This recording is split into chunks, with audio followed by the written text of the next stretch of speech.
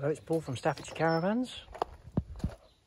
Latest in today, we have this 2015 Elddis Crusader Storm. It's a four berth transverse island bed with a full width rear washroom and a separate shower.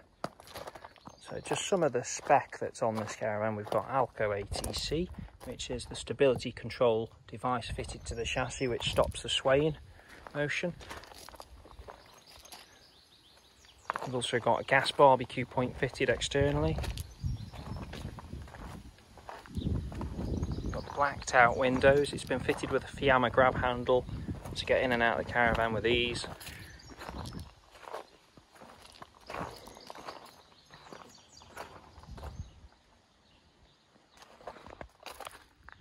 Very nice looking caravan. The empty PLM weight of this is 1745. So it's still fairly light for a big, heavy, well, a big twin axe caravan that's top of the range.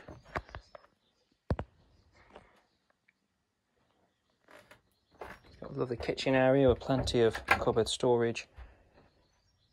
Freestanding table hidden away in its compartment there. Have the big, tall, Dometic fridge freezer.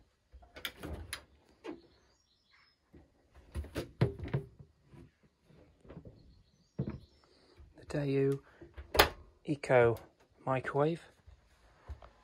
TV bracket on a pivot with all the connections 12 volt 240 and the connection to the aerial as well. You have a cocktail cabinet there. A Thule extractor Omnivent.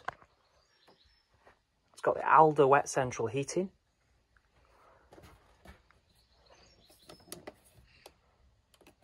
The touch screen colour display, it's nice and easy to use. Loads of LED lights. Fly screen and blinds on all windows and doors.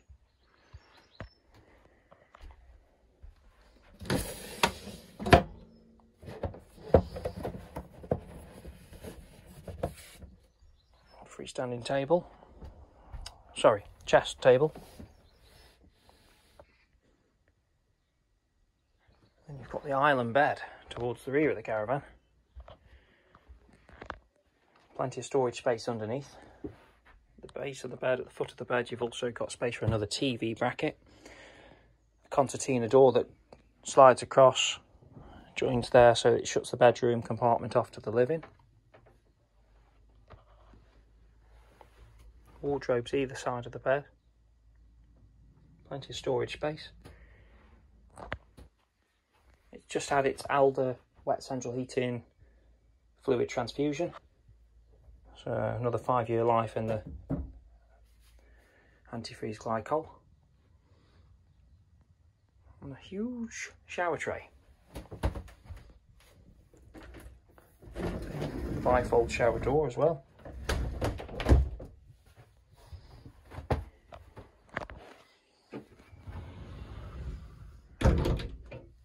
Solid door for the washroom.